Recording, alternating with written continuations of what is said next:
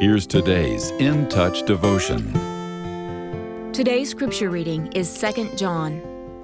The elder to the chosen lady and her children, whom I love in truth, and not only I, but also all who know the truth, for the sake of the truth which abides in us and will be with us forever. Grace, mercy, and peace will be with us from God the Father and from Jesus Christ, the Son of the Father, in truth and love.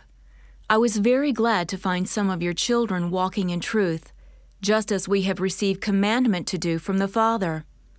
Now I ask you, lady, not as though I were writing to you a new commandment, but the one which we have had from the beginning, that we love one another. And this is love, that we walk according to his commandments. This is the commandment, just as you have heard from the beginning, that you should walk in it. For many deceivers have gone out into the world, those who do not acknowledge Jesus Christ as coming in the flesh. This is the deceiver and the antichrist. Watch yourselves, that you do not lose what we have accomplished, but that you may receive a full reward.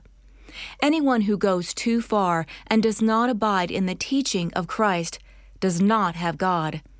The one who abides in the teaching, he has both the Father and the Son. If anyone comes to you and does not bring this teaching, do not receive him into your house, and do not give him a greeting.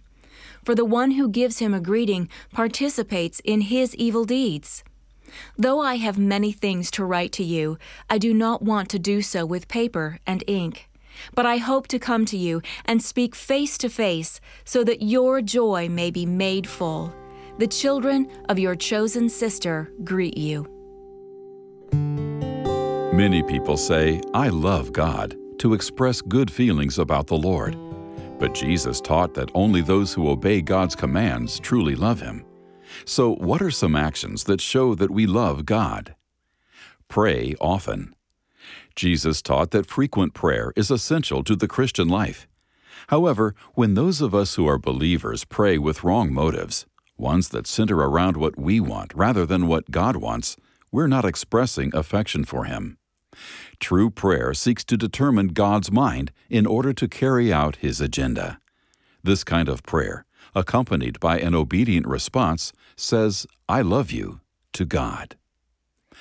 Read the Bible regularly. Since Jesus stated that obeying Him is the natural outcome of loving Him, it's essential that Scripture reading be accompanied by application. Otherwise, we're just hearers of the Word, as we read in James 1, verse 22. Serve at church and in the community. If we ourselves choose how to serve instead of obeying the Lord's direction, our efforts are simply good works rather than an expression of love to Him. God's love for us was demonstrated through the sending of His Son, Jesus. Our compliance to the Heavenly Father's will reveals how deeply we care about Him. Take steps each day to show God your love.